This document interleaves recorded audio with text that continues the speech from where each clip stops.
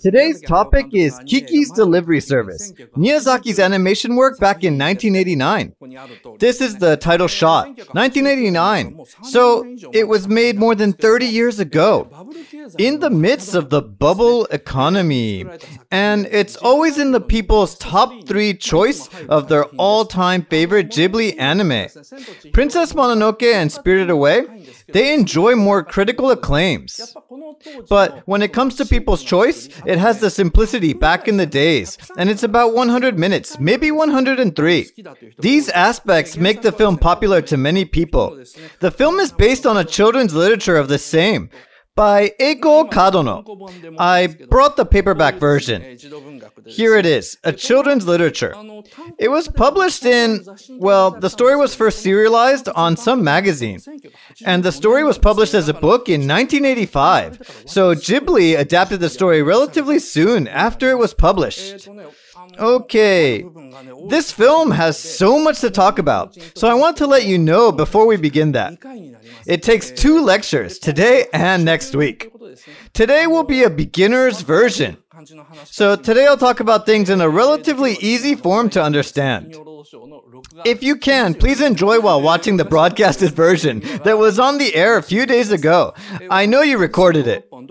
Okay, this is a fantasy taking place somewhere in Europe. A 13 year old witch starting to go independent. However, it's not an ordinary fantasy. Miyazaki didn't make it like that.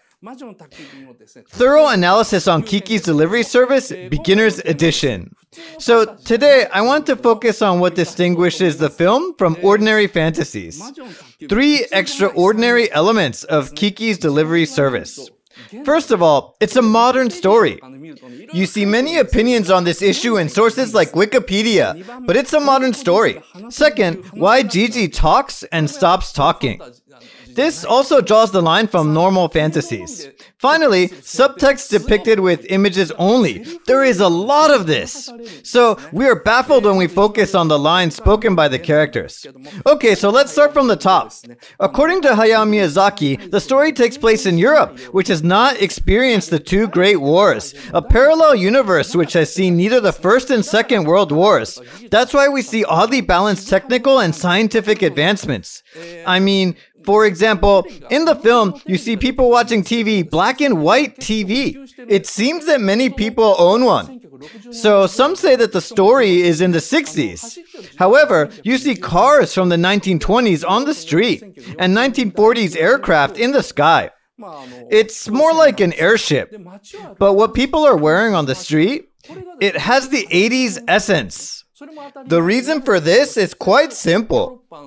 Miyazaki took a trip to Europe in 1988, a year before the film was produced, and designed the costume and cultural aspect in the film based on what he saw during the trip. So, I told you that the story takes place in the modern time. That is, 1989, to be more specific, when the film was released. And I also mentioned about the absence of the two great wars. It's because the wars entailed incredible technical advancements. So it is believed that if there was no World War I, of course, the tools used for the war would not have advanced so much, and airplanes would not have been put into practical use so much. Furthermore, it is often believed that if there was no Second World War, the development of large airplanes would have been delayed or may not have even happened. So this world has been met with slow technical advancement due to the absence of the two great wars. So the story is set in 1989, around the time when the film is released. I'll talk about this a little later. The reason why it's logical to think this way. The second one, why can Jiji the cat speak? A young witch can understand the cat, her familiar. This setting is written in the original book, and the book described the relationship as follows A mother witch who gave birth to a girl gets a black cat born around the same time. So the black cat was born in the same year. The black cat is further described as a special one that only the girl can understand. However, when the girl falls in love, the cat leaves the girl to find a partner of its own. So, according to the background setting, Kiki's mom actually had a black cat of her own, which left her when she fell in love. This is quite a typical fantasy background setting, which was simply abandoned by Miyazaki. Miyazaki mentioned quite an unreasonable reason for this in the interview, saying, I don't like cats that much. I don't like their faces, like they know it all. This was how Miyazaki dissed cats in a rather honest interview with Yoichi Shibuya for Rocking On magazine. Still, he does take good care of the cat in the Ghibli studio. So I guess the remark in the interview was a bit of a joke. The reasons why Kiki can only understand Jiji and later loses that ability are very different from the book. Miyazaki quite intricately made the change. Well, in guidebooks and analysis, some say Kiki grew up and ceased to understand Jiji. There are just so many opinions. You have to read the subtext from the images to understand this. There are some codes only Miyazaki uses. I'll cover this in the intermediate edition next week. The third one, this last one, I'll be mainly focusing on today. Too many subtexts depicted through imagery only. There are just so many of these. I'll give you some examples. For example, the night of Kiki's departure. Under the full moon, she leaves her hometown. Kiki, flying on her broomstick, meets a witch who started training earlier. So, this is her, quite good looking. Koji Morimoto was in charge of her character design. She started the training a year earlier, so she is one year older. They're flying in tandem. This elder witch tells Kiki that she's good at fortune telling and asks Kiki, Do you have any special skills? Kiki is so impressed. This witch has a much greater magic skill than Kiki. For example, Kiki specifically needs to use reaction force to fly. She finds this witch and tries to approach her. She leans left to fly toward her. She has to swivel to change directions, like an airplane. As she leans, the altitude temporarily drops, and then Kiki soars to approach the witch. Thus, Kiki can only change directions through a rather exaggerated motion. This elder witch, on the other hand, when she says goodbye and flies away from Kiki, she simply points her feet to the ground. She's sitting on her broomstick and simply points her feet to the ground. Like this, she needs no preliminary motion or a big movement like Kiki. Her broomstick soars naturally, then comes down to the other side of Kiki as she says, Good luck to you, and then flies down to her town. So she can fly really well. So this elder witch is a nice person, telling Kiki good luck to you, and then flying down to her town. Kiki looks up to this good looking witch, and she says, I have to have a special skill. This is what you can understand from the character's line. But the town where this senior witch is working, you see the image of it, and this is the subtext depicted by the image only.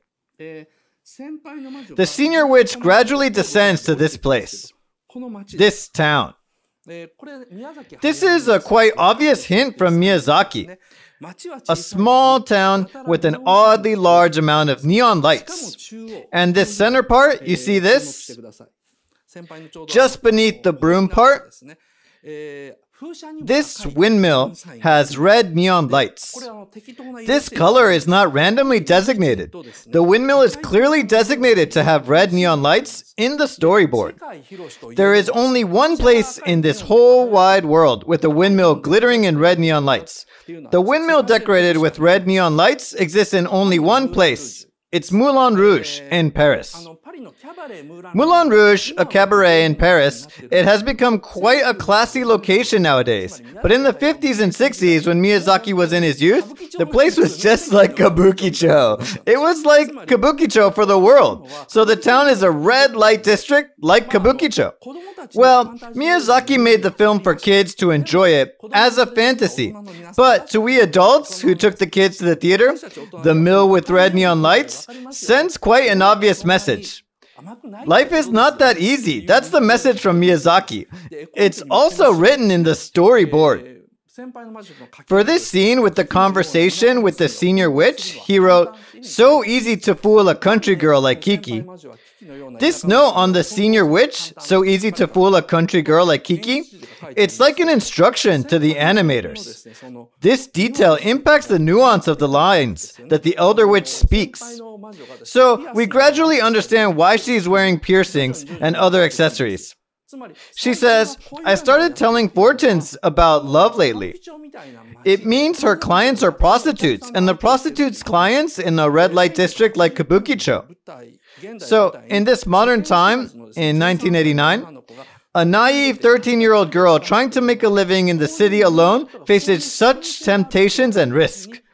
That's what Miyazaki expressed in this scene.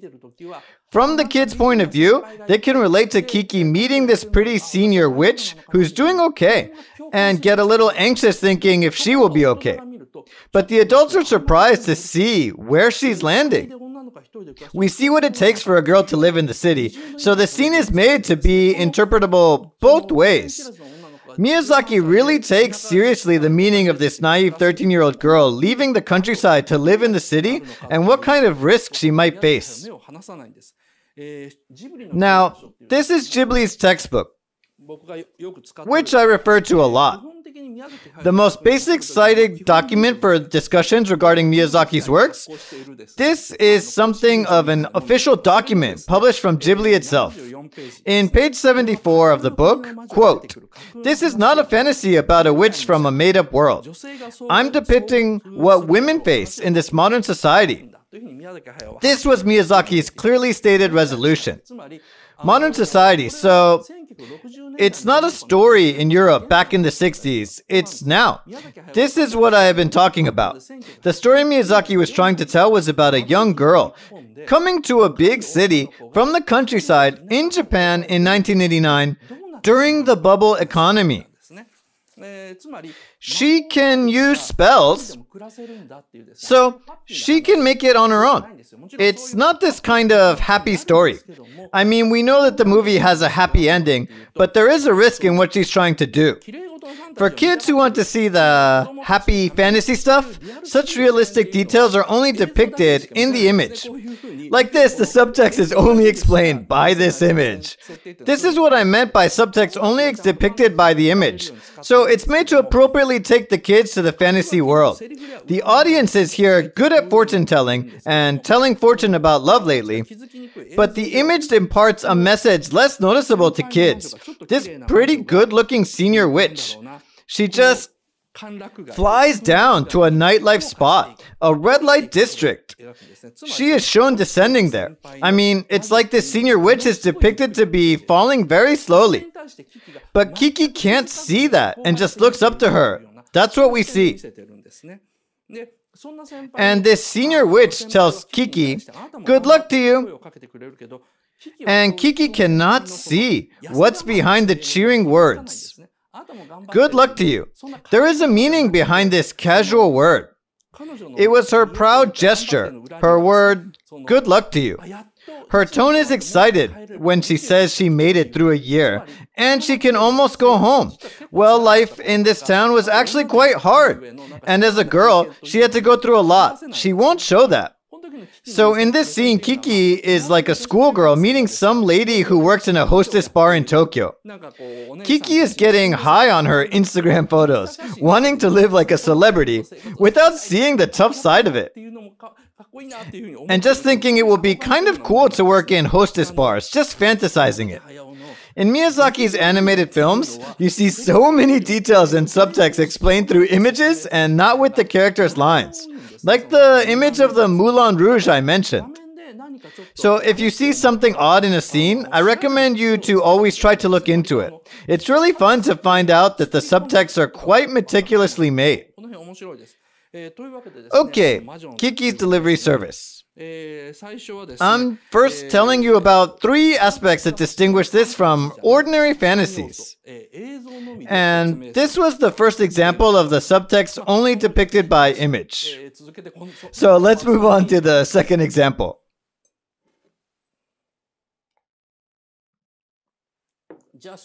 Okay, the second example. Here you go.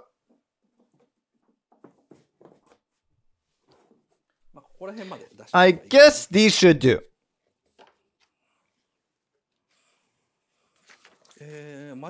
Kiki's delivery service is get your thoughts in order. Three elements distinguishing Kiki's delivery service from normal fantasies. The subtext only depicted by image. There is another scene with such a subtext. This is the scene. This is Kiki's mom. Her name is Kokiri, and she is a witch. And this Kokiri, she has these flasks and graduated cylinders and droppers. She's making magic medicines with a procedure that looks like a science experiment. What I want you to see, realize, is this. In this scene with Kokiri, here at the left end, there is this huge pot. It holds flowers, so it seems like a vase, but it's not. Eh, this also appears in other scenes with Kokiri. This huge pot is in every scene with Kokiri. It's positioned so that it's noticeable to the audience. When Kokiri is in the scene, there is the pot, like behind her, or just somewhere else. Wherever it is, the pot is shown somewhere relatively noticeable. This big pot, there is a specific word for describing this. It's not mentioned in the film, but it's called cauldron. The name of the pot derives from an epic scene in uh, Shakespeare's work. This film, I bet only a few people saw this. The title is Black Cauldron, about 30 years ago. Tokyo Disneyland had an act called Cinderella Castle Mystery Tour. I joined the tour so I remember it. I think the event was based on this Disney animation film Black Cauldron, released in 1985. A uh, witch in the film uses a cauldron, the big pot, for preparing an evil potion. We know this typical image of witches boiling a potion in a pot. We see it in a lot of movies and manga. These images all originated from Act 4 in Macbeth by Shakespeare. In Act 4 of Macbeth, three witches boil potions in the cauldron in a cave. It contains rotten intestines, a poisonous frog, eye of a newt, and the liver of a Jewish person. All those weird things are boiled. There is a line that says, double, double, toil and trouble. And another line says, fire burn and cauldron bubble. This is the opening scene of Act 4. So, if a witch has a pot, people should immediately relate that with the cauldron in Shakespeare's Macbeth. This is what Hayao Miyazaki expects people to think. It's Shakespeare's Macbeth. It's not The Tempest or other rather minor works. It's Shakespeare's Macbeth. Everyone should have seen it. Miyazaki graduated from Gakushuin University and requires this level of knowledge from adult audiences. That's unreasonable. Even I've never seen Macbeth. I happened to join the Cinderella Castle Mystery Tour about 20 years ago. So I know what it is. Normal people won't realize this. But Miyazaki wants people to realize it. So that's why the pot repeatedly appears in the scenes with Kokiri. So this big pot is a cauldron for making witches' potions. Let's go back to this image. So the big pot is a cauldron for making witches' potions. And Kokiri Kiki's mom, is a successor of a classic witch. But Kokiri decided to take the easy route. So for her now, the cauldron means nothing more than a dry flower container. She put in dry flowers. Like here you see, it has dry flowers in it.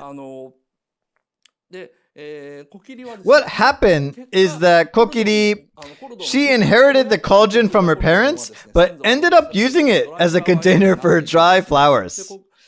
And Kokiri uses the science equipment like the flask, graduated cylinder, and dropper I mentioned to make witch potions. So she is some slacker.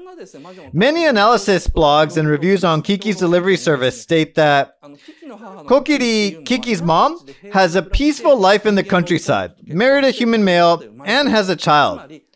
So she can be seen as a rollout model of witches, a happy upstart version. And Kiki would someday be a sweet mom like Kokiri. That's what they said. However, that's what normal people think, and not how Miyazaki sees her. Miyazaki is.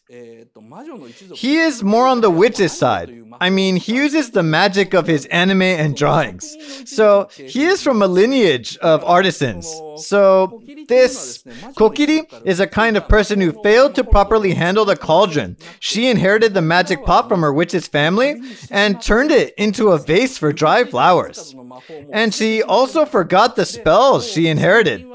She mentions about a decrease in population and magic power of witches. Like she says it's a sign of the times. But she's wrong. She's supposed to boil herbs with the cauldron, but instead she simply uses chemicals. she takes the easy way using a spirit flame. So she can only make rheumatism medicine, which might not even work. Only the old lady tells her that nothing works as well as her rheumatism. So Kokiri's thing is appreciated only by this old lady in the neighborhood. If you observe carefully as a witch, she's a dropout, and she blames it on the era. We listen to the character's line, and we simply accept that. But actually, Kokiri is an incompetent witch who makes mistakes quite often. Such a scene is not in the original book. Miyazaki decided to add scenes where Kokiri's spells fail, which is not in the original book. The scene where Kiki tells her she's leaving tonight and Kokiri says, wait, and a thing in her hand pops up. It's depicted like a rather humorous scene where you can see the power of the spell rises along with her temper. But this just actually demonstrates her poor skills as a witch. So she restarts the procedure to make the medicine, but it's just something that the old lady would appreciate. It means her medicine is only effective to those who believe.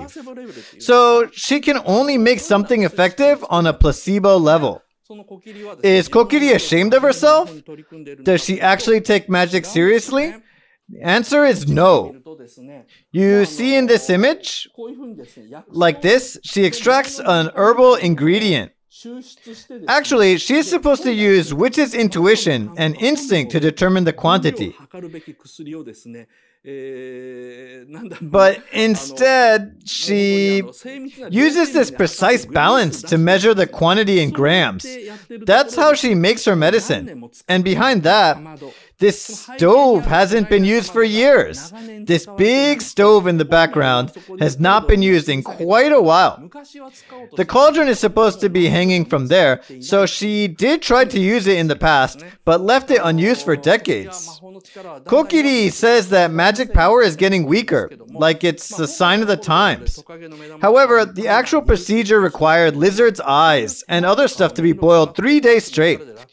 That was so cumbersome, so she resorted to science, the easy way, and so she is forgetting the proper way of making herbs.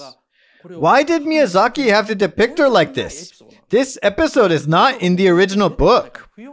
He did not have to draw in the cauldron. It's not in the book but he just had to because it represents what Miyazaki felt as a very serious problem. Many animators are getting good at computers for convenience sake. They simply sample live actions, like they sample the movement from a movie of an actual animal to make realistic animated movements of the animal. They didn't spend enough time on sketch practice since they were kids, so they can't draw a four-legged animal with proper perspective. So they can't even draw simple actions properly. This situation of new animators, Miyazaki had seen it through interactions with these young animators. They're what Kiki's mom, Kokiri, represents. That's who she is. People say that it's a sign of the times. Some say it's just natural because they grew up with videos and because CGI is growing so much. Miyazaki saw a rapid loss of the animation techniques passed on from the time when he was working in Toei Animation the time of Natsuzora, like it was a tradition only passed down to their heirs. And 1989 is marked as a huge transitional period. So this Kokiri, the mother, is depicted to be accepted as how should I put it, an ideal mom to those nice Ghibli fans. She's depicted as a kind and wonderful mother figure. But Miyazaki, an artisan in the lineage of witches or wizards, can clearly see the flaws of Mother Kokiri. As an artisan, she is extremely incompetent. Miyazaki sees her that way. Kiki's dad, Okino, tells his daughter when she is leaving. You can always come home if things don't work out. He hugs Kiki while he says it. There is a book called Roman Album for Kiki's Delivery Service. In this book, Miyazaki mentions this line, saying, What kind of father is he? He just denounces this father like that. I mean, we see this father saying kindly, You can always come home if things don't work out. And there is this mother who doesn't go tough on her. And she says something like, I can only make medicine and fly. And my daughter Kiki ended up being only capable of flying. This easygoing attitude does show her as a kind mother figure. However, Miyazaki denounces them for saying things like, you can always come home if things don't work out, to their child, to deprive the daughter of a chance to grow up and stand on her own feet. So, as an artist, the animator Hayao Miyazaki sees Kiki's parents as modern parents who spoil their children. So, the world of Kiki's delivery service, according to Miyazaki, can be automatically translated as follows A girl raised by no good parents who cannot properly raise their children. Now, she can only think about herself, always thinking of what people can do for her instead of what she can do for other people. The only way for such a spoiled brat to be independent is to be stronger than her parents. She faces so many challenges to be stronger than her parents, to stand up. It's not about a girl becoming a decent witch. It's about becoming a decent person and not a decent witch. Miyazaki was trying to make a film about a woman training herself to be a decent person. So we can see that Miyazaki was trying to make a rather over the top anti fantasy. I mean, it's just the concept is just completely opposite of Harry Potter. It's not about becoming a better wizard, but a better person. That explains why Jiji ceases to speak to Kiki around the ending. I'll get to that next week. And the parents I just mentioned, are they bad and harmful to their child? Miyazaki thinks that they are no good. But the way he depicted these parents, I mean. A girl is spoiled by no good parents who cannot properly raise their children. So she can only think about herself. She struggles to become independent. This plot is actually exactly the same as that in Spirited Away. Miyazaki actually thought Kiki's delivery service properly imparted his message. This is the theme of the movie. And it's basically the same as what he did in Spirited Away. So, this plot, a spoiled girl raised by no good parents, has put herself under harsh conditions to train herself to grow and solve her problems by herself.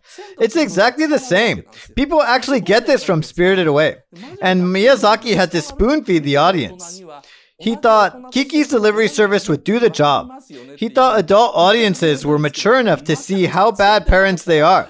But he was completely wrong, so he depicted the parents to be assholes, extremely obviously. But before they act like one, Kiki, no, I mean Chihiro, appears as a girl who cannot behave in the backseat of the car, just says no no to everything. Miyazaki thought that would do the job. So Spirited Away is a recreation of this concept. They are made to impart the same message in different ways. However, interestingly, Miyazaki depicts the parents in Kiki's delivery service with much greater affection or love than for the parents in Spirited Away. I mean, he depicts them with so much love. He thinks they are bad parents, yet depicts them with so much love, like he's saying he can relate to them. Okay. Show Spirited Away's. No, I mean the storyboard of Kiki's delivery service. I'm sorry it's a little difficult to see. It's written Kiki with her open arm says, Dad. And she says, Would you pick me up like you used to? And then the father immediately understands his daughter's feeling and cheerfully opens his arms. You see, it's written that he immediately understood Kiki's feelings. And This scene where he picks her up and turns her around, it's quite long. Why did Miyazaki draw this scene? Why did he have to make this scene? This is another subtext only explained with the image. The scene includes both Miyazaki's love for the characters and his opinion of the modern family. I mean, why did he pick her up instead of just cuddling her? It's because Kiki will be flying in the sky with her magical power. That is, with her own power. But what she actually wants is her daddy to pick her up. So he sees that she's worried about flying to a town she doesn't know. He sees that this is an act of regression, saying that she wants to fly, picked up by her daddy's power. He understood that and so gave her what she wanted. Kiki's affectionate gesture, it seems so cute to Miyazaki, so he draws this scene from the line, Dad, so adorably. And Miyazaki also likes Kiki's father, who can't help but to spoil his daughter. This is called Enveloped in Tenderness. The singer sings when enveloped in tenderness in the closing tune. This love spoils Kiki and deprives her of a chance to grow up.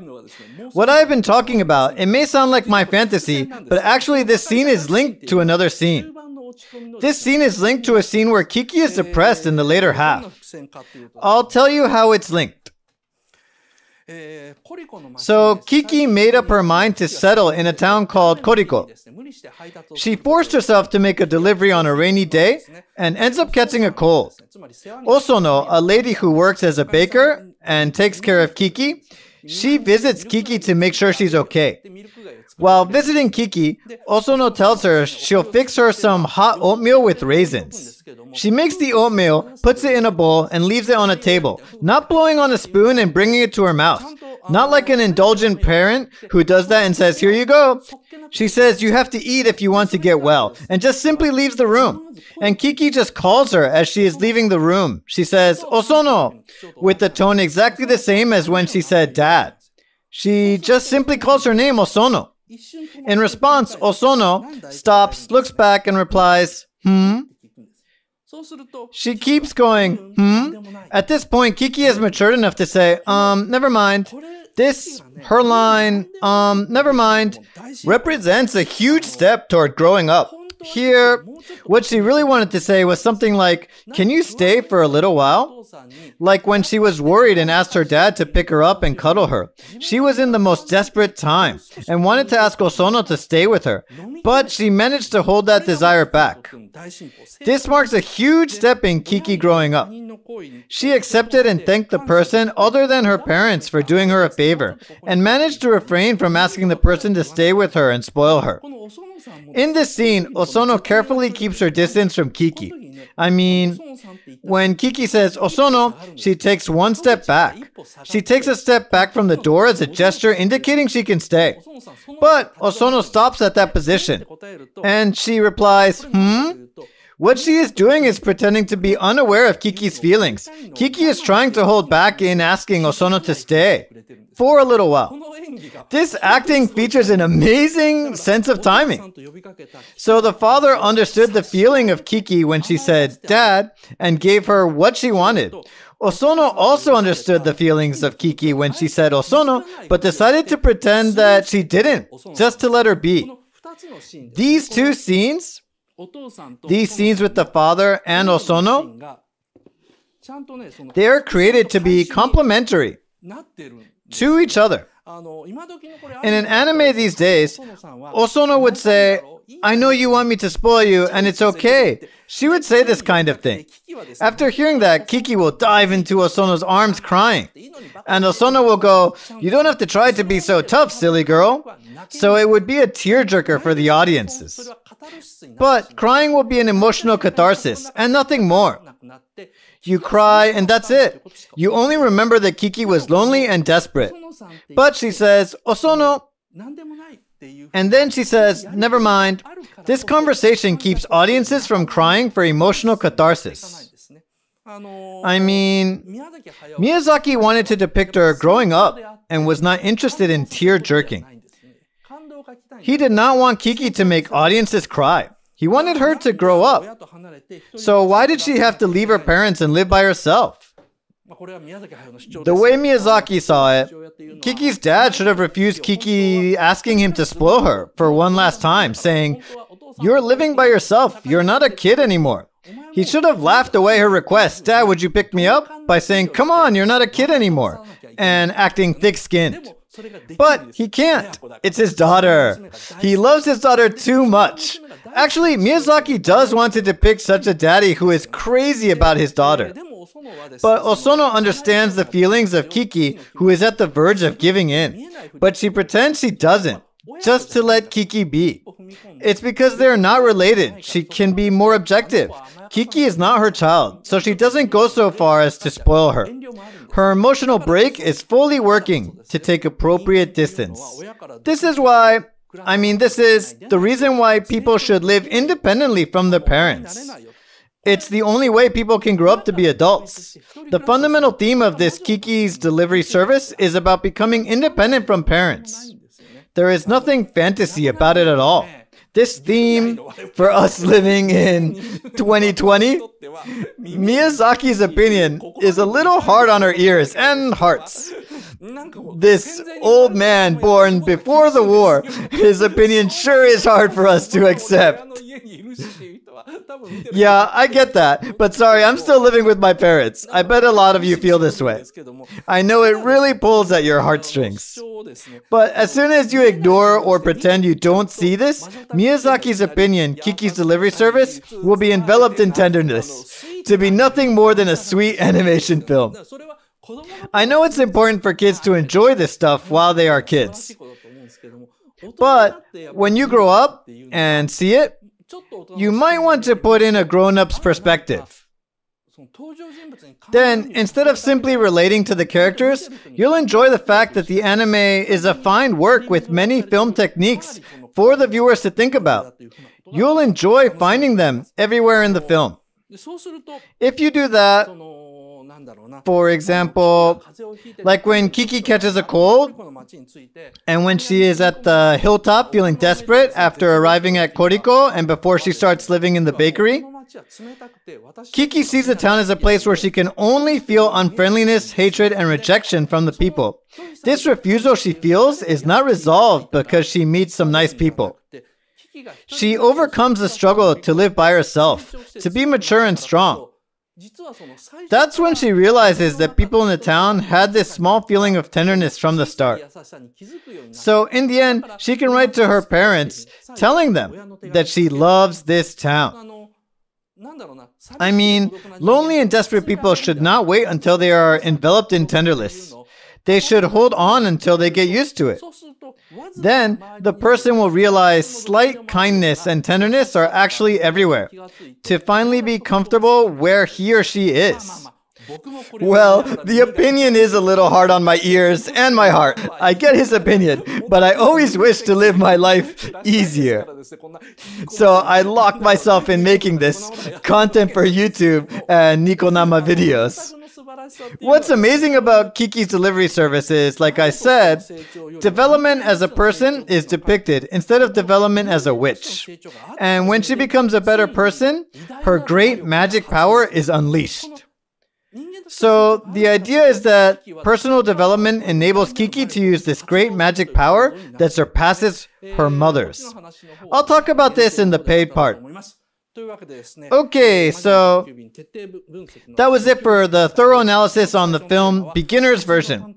The first topic was that the film is not an ordinary fantasy, and I explained that there are so many subtexts only depicted through imagery. So this is it for the free part. I have so much more to talk about. I'll talk about the rest of this topic in the limited broadcast. If you have any questions, please give me a comment. Eh, Okay. Oh, yes? The liver of a Jewish person. Yes, I knew the word would interest you. The liver of a Jewish person. And they also put in Tartar's lips. Macbeth's, uh, the copyright for Shakespeare's Macbeth has already expired. So you have many chances to read it. Act 4. You can just read Act 4. There will be the witches, and it's kind of cool. And you learn a lot. Okay, please fill in the questionnaire. So that was one quick 40 minutes. I mean, it's almost 45 minutes. In the limited part, I will talk about what's great aspects of this film, as I just mentioned. The scene where great magical power is unleashed following her development as a person. I want to talk about its structure and how Kiki's power is depicted. Okay, please show me the result. Thank you very much. Oh, premium members, impressive. This Kiki's Delivery Service, so many people see this as just a sweet anime story. I blame Yumi Matsutoya's song. It's too powerful. She sings when enveloped in tenderness, and we can't help but see it that way. The film is so great that it's still worth watching, even if you see it that way. Miyazaki actually worked hard to depict the theme on a much deeper level, but the people didn't get it. So he had to make Spirited Away. That's what happened. In the limited part, I'll talk about why Mamoru Oshii, who directed The Ghost in the Shell, praised the animation of this film to be one of the best in the history of Ghibli. He claims that compared with Ghibli's later works, the quality of the animation, including the background, it's almost second to none. That's what Oshii said. What made him think that way? I'll thoroughly analyze about a minute from the start. Only one minute due to time limitation. Each cut is amazing, so I'll analyze one cut at a time in the limited part, and I'll explain the magic of it, what Oshii praised so much. And another topic is a hidden theme of Kiki's delivery service. The theme I mentioned was meant to be obvious. When geniuses change the world with their gift. The time when art was art, and that time is gone. This is the hidden theme. This is somewhere between beginner and intermediate. So I'll talk about this in the limited part. Okay, so the paid part starts. If you want to see this live, please subscribe to my Nikonama channel or join the YouTube membership. Then you can watch the last 10 broadcasted episodes in the archive. A premium member of each service can access all the episodes in the last three years and more.